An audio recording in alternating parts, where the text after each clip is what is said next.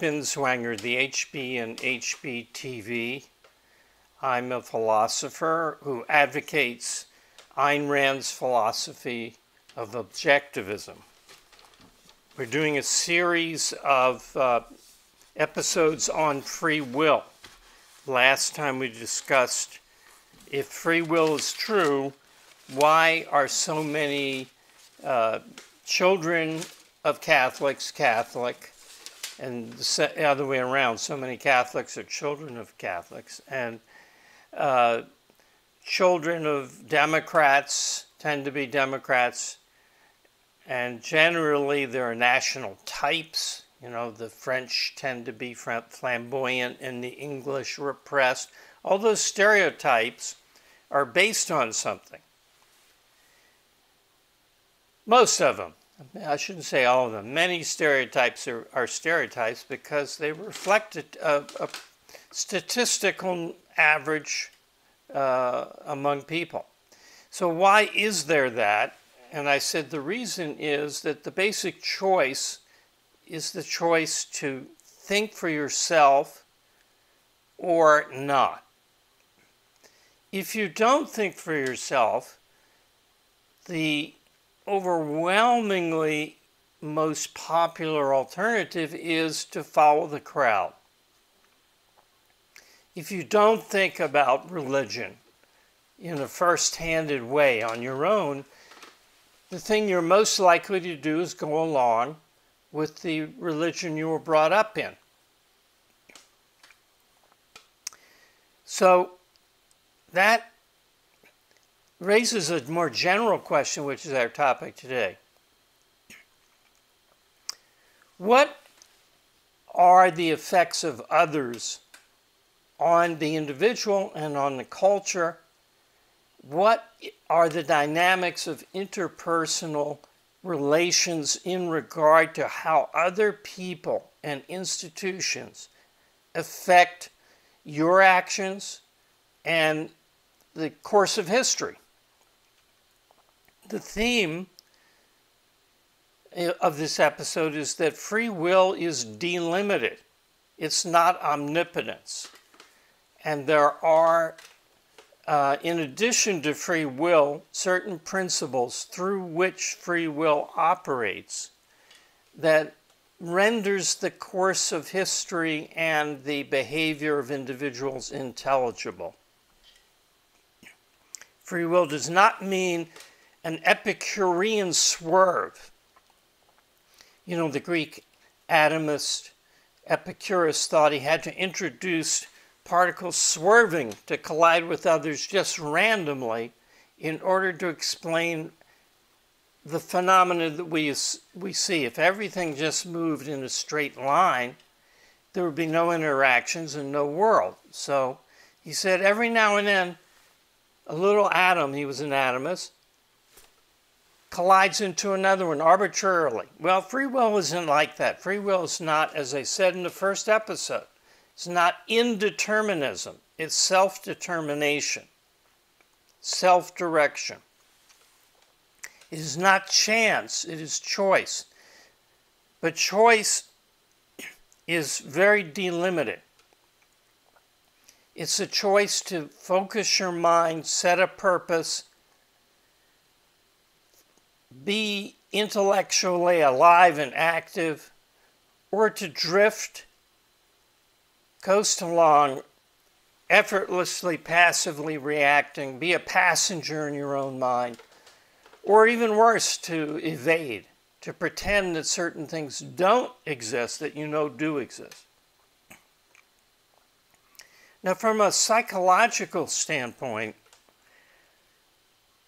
the issue of free will is the issue of who's the boss, your conscious mind or your subconscious.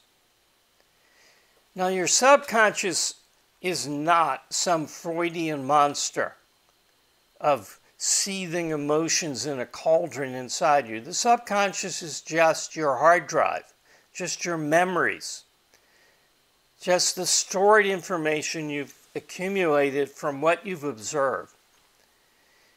But a rational, in focus mind observes different things and notes different things and makes different connections that then get stored in his subconscious, which is really just the brain's ability to supply and store, to re- store and retrieve information. It's like a database program.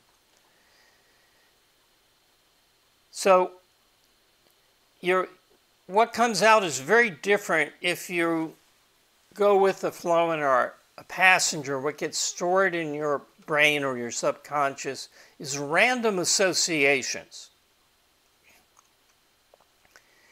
When I learned the Pythagorean theorem, it was raining.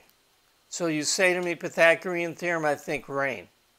I mean, that's pretty bizarre because you don't remember when you learned it, but in principle, that's a random association. As opposed to a logical connection. Ah, the Pythagorean theorem is about triangles. It's about right angle triangles. That's studied by the science called geometry. The Pythagorean theorem is proved. I may not remember all the steps, but it was proved long ago, and the proof was a process of logical step by step reasoning. So when you hear, when that kind of stored connection is in a person's brain, he hears Pythagorean theorem and he thinks geometry, logical deduction, reason, ancient Greeks, triangles, right triangles. Maybe he remembers hypotenuse right off the side, uh, squares on the side. Maybe remembers that right away, maybe not. So you see the difference between a passive mind that maybe notices certain things happening at the same time as other things, and a logical mind that directs what it connects to what. So the subconscious of a person who uses his free will to identify reality, to make logical connections, develop he the free will that he uses develops an orderly logical set of mental files. And when he thinks about a topic now, relevant, logically connected information comes to his mind. We started this with Sam Harris, who says, You don't control what comes to mind. Well, in a very short term way, you don't. Banana. All right, you might have thought yellow, you might have thought peel, you might have thought slip. You slip on a banana peel. You might have thought fruit. But whatever you thought when I said banana, whatever popped into your mind, that was not an issue of free will choice. But you also have control indirectly over how you access stuff in your subconscious. Like you could say, what is the most fundamental fact I know about bananas? It's not that they're yellow. It's not that you can slip on the peels. It's that they're a fruit, tropical fruit. So you can identify the fundamental, the essential of what you're dealing with, or you can just free associate. Banana, peel, slip, fall, Charlie Chaplin, silent movies, movie night, Friends. I mean, the show Friends. I'm just doing some random association.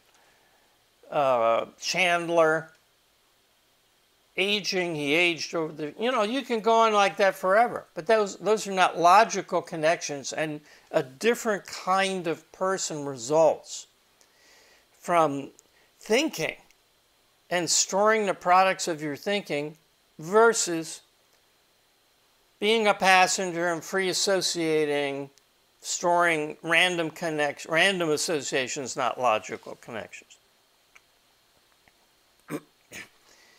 Your character, your moral character, is your nature, your identity, insofar as it's shaped by what you've automatized in terms of moral values. That's paraphrasing Leonard Peikoff in Objectivism, the Philosophy of Ayn Rand, the single most definitive, by far, a treatment of the objectivist philosophy. He says, character is who you are insofar as it's shaped by what you've automatized with regard to moral issues. Well, what you've automatized depends upon where you in focus, where you thinking, where you rational, where you seeking to know, or where are you drifting along, or were you evading? No, that can't be true. I won't let it be true.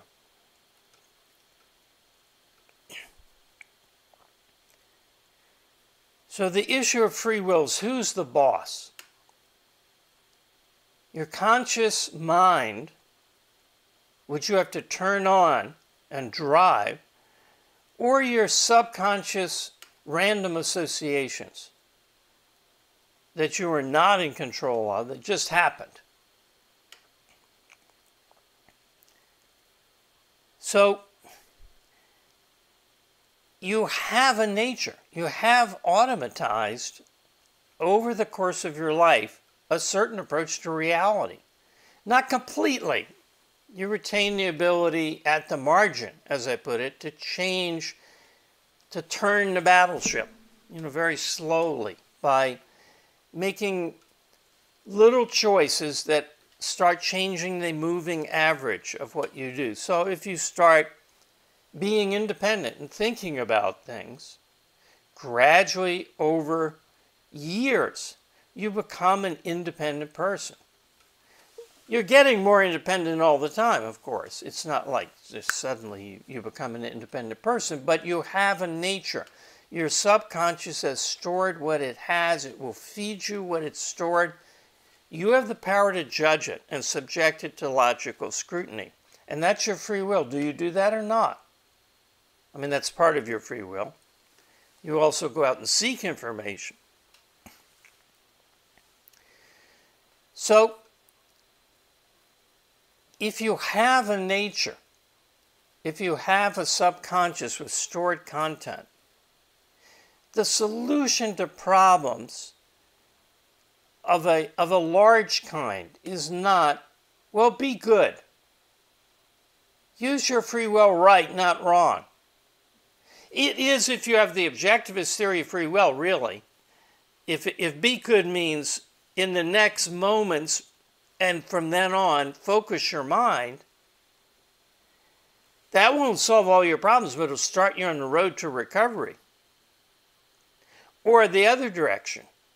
If you are a good person, if you unfocus your mind and begin to drift, you will gradually change the average of how you function and become a bad person.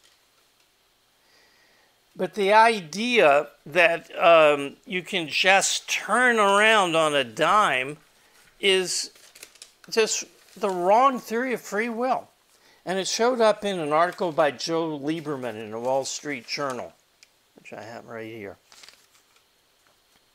Joe Lieberman is the last living liberal he should be in a museum because when people say liberals, conservatives sometimes talk about liberals. There are no liberals aside from Joe Lieberman. Maybe Joe Manchin now. Maybe we got two. Leftists are not liberals. Progressives, i.e., regressives really, are not liberals. They are not like the old style Hubert Humphrey, Jack Kennedy, and Joe Lieberman type. They're a, Elizabeth Warren has no relation to Joe Lieberman or Joe Manchin. So Joe Lieberman wrote this column in the Wall Street Journal on December 24th. And uh, I want to read you the, the wrong idea he has in here.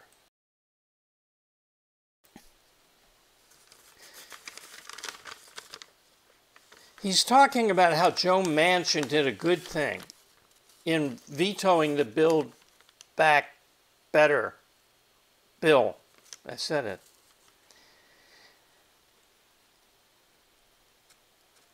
Because it was not put forward Lieberman thinks uh, the, the whole approach was not right. It was not bipartisan. He wants to bring back what is called in the Senate regular order.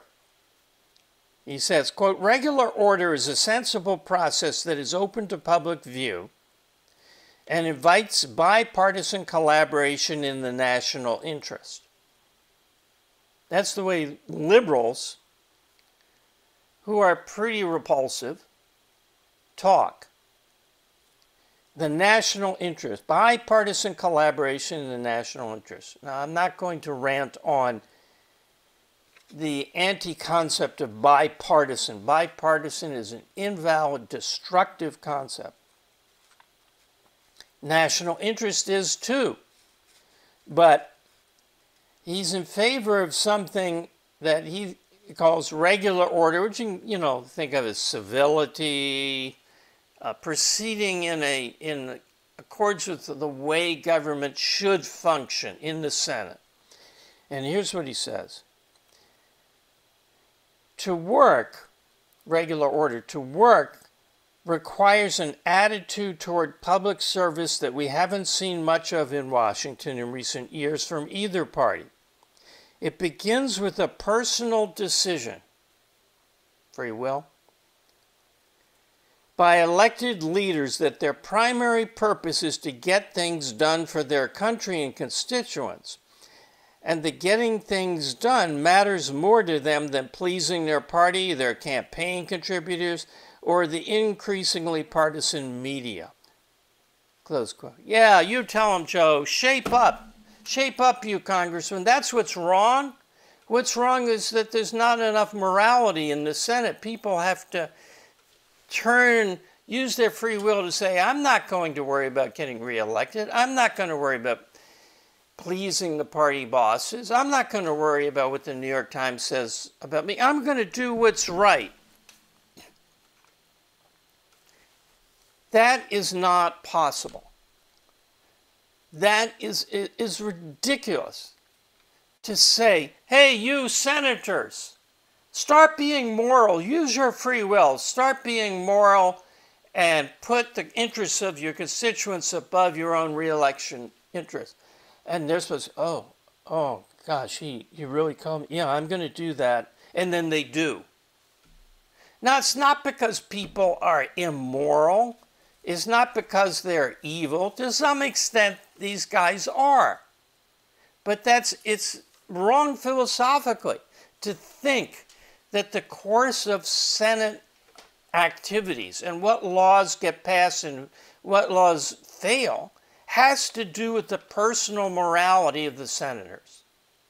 The personal morality of the senators or the president is pretty much uh, useless and irrelevant. I know that people like to vote for the, the presidential candidate that they think has good character, but that doesn't mean much. It's better to have a president with bad character in a good cultural atmosphere than a president with great character in a terrible cultural atmosphere. You could take George Washington and drop him into Hitler's Germany and put him in the Reichstag before it was uh, abolished, or make him uh, Gauleiter of something. He couldn't do anything. And by the same token, you could take Hitler and put him in the cabinet. I, I mean, it's not really believable to make him president. Uh, okay, make him president. Hitler's president. He's going to be out of there in a week. He cannot change the direction of the battleship on a dime. People do this all the time. The whole culture wars. If you watch Fox News and then you watch MSNBC, and I do bounce back among the different networks, both sides say the problem is the other side is evil and stupid. Both sides say that. That's not the problem. There's no more evil in terms of the choice to think or not to think now than in 1776. Shocking. What there is is the same phenomena that there that phenomenon that I talked about in regard to children of Catholics being having been raised by Catholics. The people who don't think are following the people who do.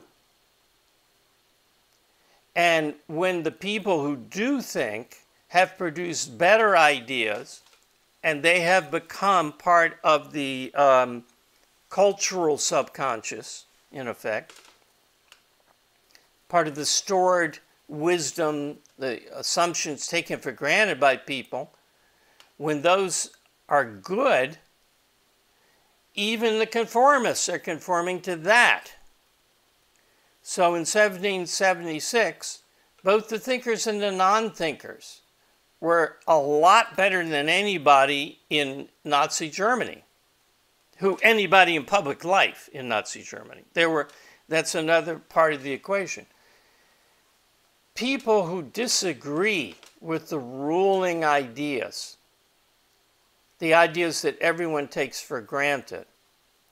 Generally, not always, but generally, the average person who disagrees are sidelined. So if um, if Ayn Rand had, well, Ayn Rand in Russia. I mean, it's a pretty dramatic case, right? Ayn Rand grew up in Soviet Russia under communism. And she had, knew she had to get out. She didn't think, oh, well, I can rise in this society and spread my ideas here. No, it's impossible. You'd be sent to the gulag.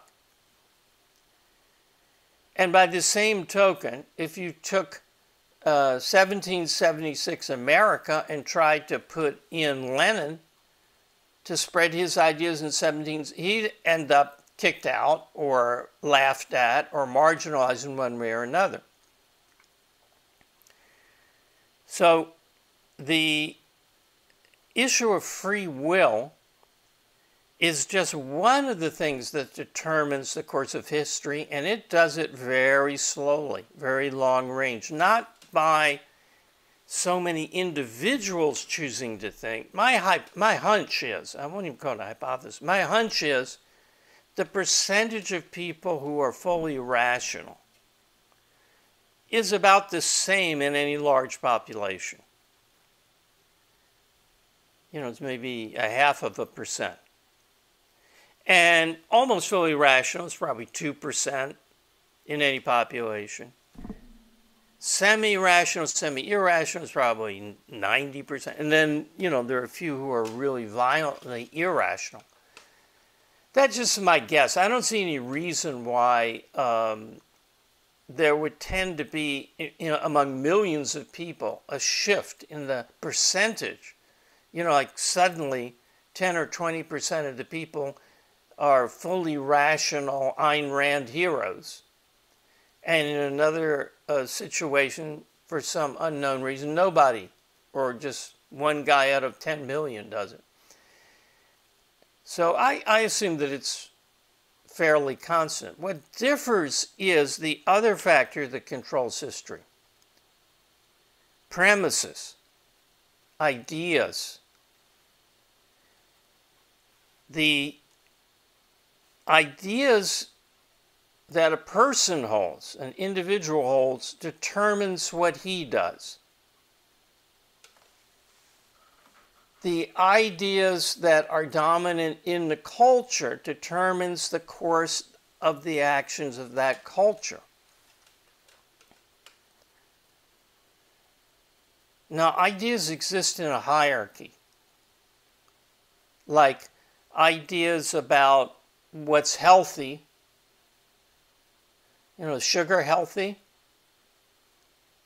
A lot of people say, no, I'm not convinced that they're, that they're right. Sugar is healthy, sugar is unhealthy, depends upon ideas about metabolism. atherosclerosis, anatomy. And those ideas, those sciences depend upon epistemology.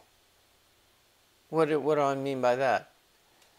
Well, whether you have a science of anatomy and a science of heart disease and a science of medicine and a science of anything depends upon whether you believe that reason or faith is the way to knowledge. Whether you believe that abstract ideas can be based upon and tested against reality, or you think only what you see, smell, touch, and taste is real and the rest is hot air. And in the case of anatomy, you have, for instance, uh, it was a crime to uh, dissect corpses, corpses uh, until fairly recently because of the influence of religion. Well, what's religion? It's an idea. It's a primitive form of philosophy. It's a metaphysics, a theory of knowledge, namely that there's only knowledge through God, and an ethics, serve God, and a politics, render under Caesar, if it's Christianity, render unto Caesar what is Caesar. render unto God what is God. So you can't combine a science of anatomy with the view that faith is in the Holy Scripture is the only means of knowledge.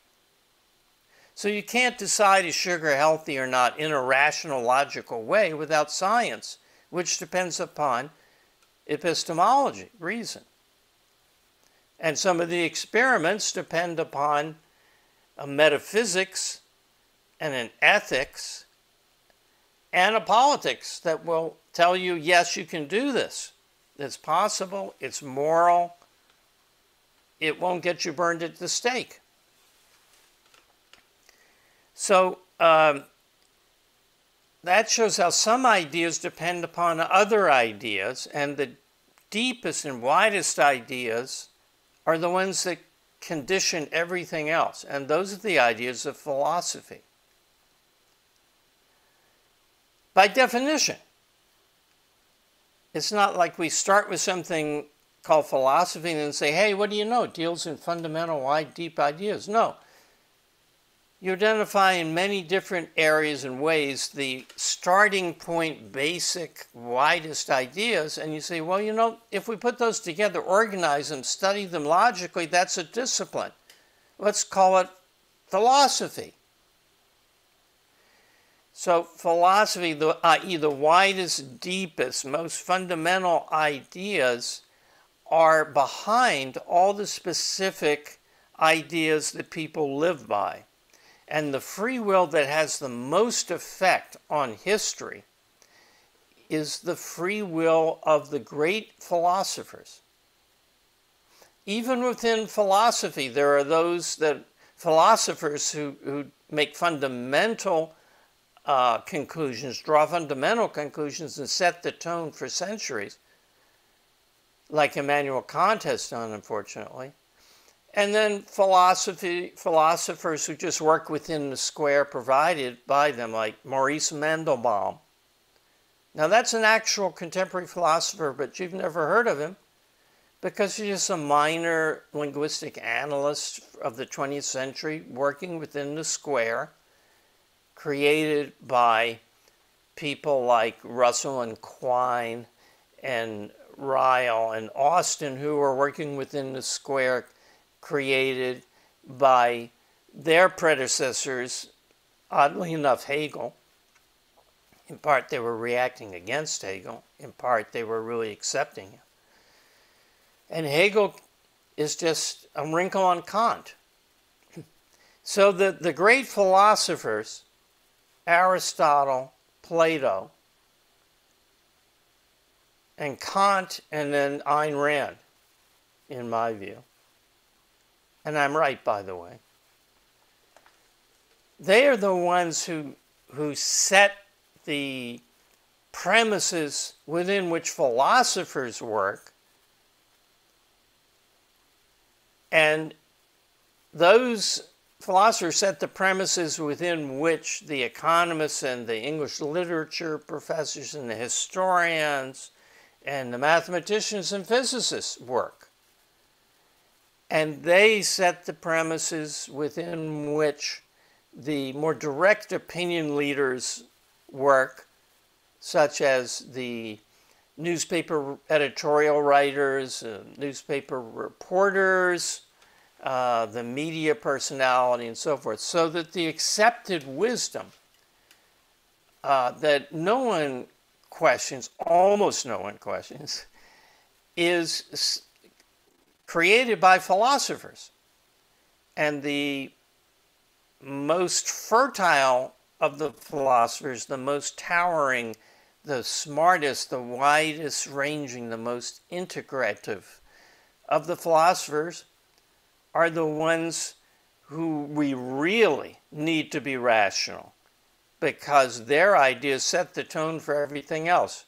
Now, I don't want to suggest that the followers, you know, the other intellectuals are not uh, using their free will. But if their free will can't answer the arguments and demolish the system of the, their predecessors, then they either have to work within that system or go into some other field. So there are lots of people who know that Kant is wrong. Or let me put this way, who sense that Kant is wrong, feel that Kant is wrong, and could say a few words why, but they're not going to get jobs in philosophy. They're not going to get jobs probably in any intellectual field because they're going against the established wisdom, which is actually established error.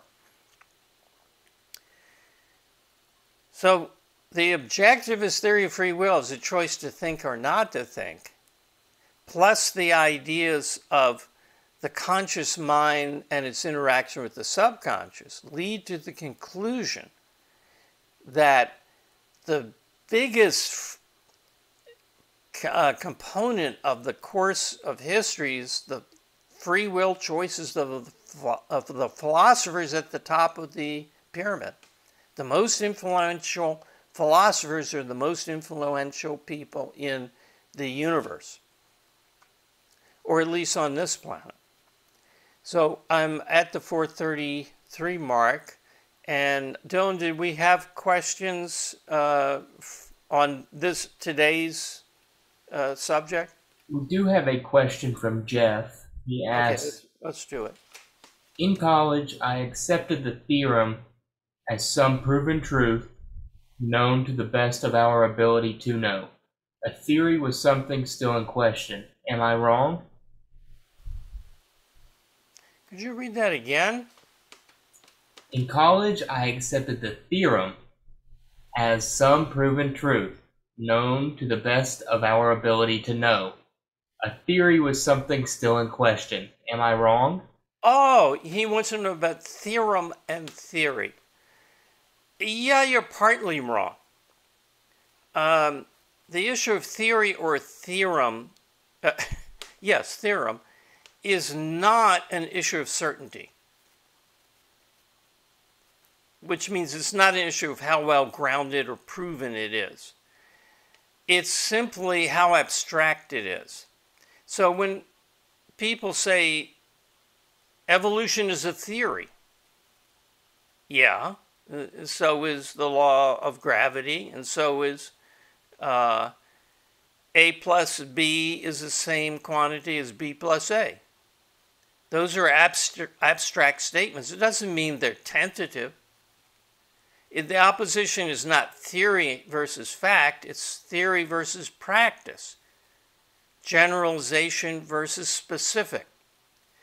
If you want hypothesis versus certainty, that's on the scale of how much evidence is there for it. Also, I would say you, uh, you can't accept a principle, let's call it that neutrally, a principle as true merely on the basis of it's taught to you as true, you have to either see the reasons why it's true or else say, I assume this is true because I was taught it, and it appears that a lot of practical, successful action depends upon it. But you can't say, well, I was taught it, so it's true. Okay, that would be the, the one um, question. I didn't explain why I called this uh, episode Reason in History. Uh, Reason in History is the title of a book by Hegel, so it's kind of a pun. But it's an accurate one because reason, the, the extent to which a culture is based upon reason and rational philosophy is the extent that it moves in the right direction. It's not the morality of its representatives in some parliament. It's not the personal morality of the man on the street. It's whether enough choice has been made by people who identified fundamental principles that are true, or whether the choices were uh, bad of those people. So, for instance, just to concretize it, I think when you read Aristotle, and give three three examples. When you just pick up and read Aristotle, I mean, it's not easy. It's very, he's translated in a very dry and technical way, but you can get an idea. You get the very strong impression of here's a guy who was totally honest, who wanted to know the truth, who wouldn't just maintain his view, blanking out contrary arguments. He wanted to know what was really true, even if it meant he had to change his mind. When you read Kant, you get the impression here's a guy who's trying to put one over on you here's a guy who is contradicting himself all over the place and trying to hide what he's saying. He's not trying to get you to understand. He's trying to impress you, bamboozle you. He's a con man. Plato is somewhere in between. There's some authentic curiosity there, and he got a few things right. But there's also a very vicious inferiority complex that makes him want to rule over others, and he is known as the father of totalitarianism. So there's a lot in Plato that's ugly, but there are some good things. So we have the good, the bad, and the ugly here. And with that, I will say thank you until next week when we uh, I will take up, I think, next week parenting very briefly. And then the uh, argument that determinism, the opposite of free will, is self refuting. Thank you, and I'll see you next Monday.